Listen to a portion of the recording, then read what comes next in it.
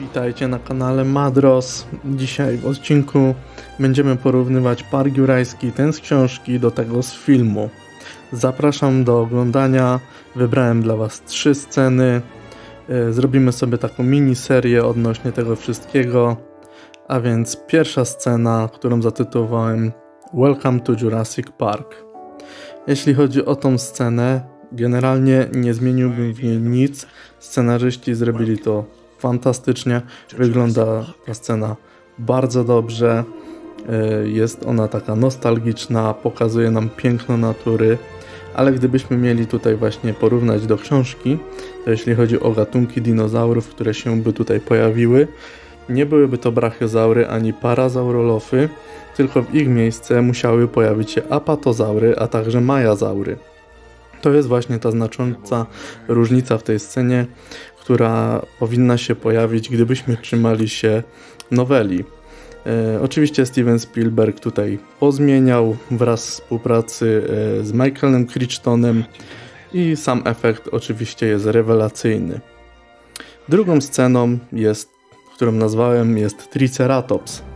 Wszyscy wiemy doskonale, wygląda ona też bardzo fajnie, jest pokazany Triceratops, ale gdybyśmy mieli się trzymać noweli, mielibyśmy oczywiście stegozaura. Tak, stegozaura, który pojawia się dopiero w zaginionym świecie, a w książce Park Jurajski tą scenę właśnie z chorym dinozaurem widzimy, yy, widzimy, przepraszam, no nie widzimy, ale możemy doczytać, że jest to stegozaur, a nie triceratops.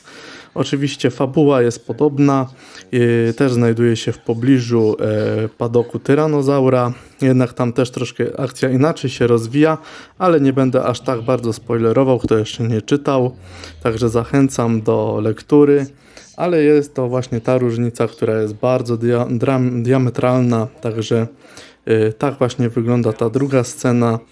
Dla mnie osobiście też jedna z lepszych scen w całym Parku Jurajskim, jeśli chodzi o sam film. I sceny numer 3 wybrałem tutaj dwie śmierci postaci. Pierwszą postacią, która ginie e, w Parku Jurajskim jest Donald Gennaro. Jeśli chodzi o jego rolę w samej powieści, e, Donald Gennaro nie ginie, a jest jednym z bohaterów, można tak go nazwać, jeśli chodzi o ocalenie e, wszystkich, którzy znajdują się na Nublar. Oczywiście przeżywa całą E, cały ten incydent e, z upadkiem Parku Jurajskiego. No ale tutaj scenariuszu, jeśli chodzi o sam film, Donald Gennaro ginie i to ginie jako pierwszy w paszczy tyranozaura. Drugą postacią, którą wybrałem jest Robert Muldoon.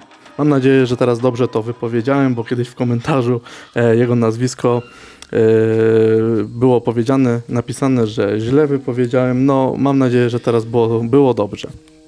Jeśli chodzi właśnie o Mulduna, y, w samej powieści oczywiście też zajmuje się raptorami, jest głównym łowczym w całym parku, e, odpowiedzialny za ochronę gości i tak dalej, czyli tutaj mamy zgodność.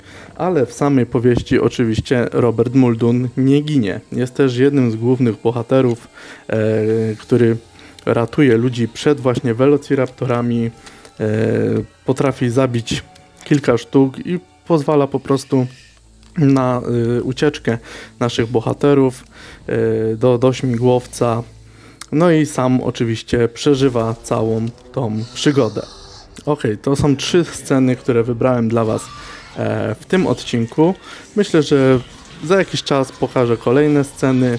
Także jeśli Wam się podobało, łapka w górę, komentarz, subskrybujcie. Dziękuję za dzisiaj, pozdrawiam, trzymajcie się, cześć.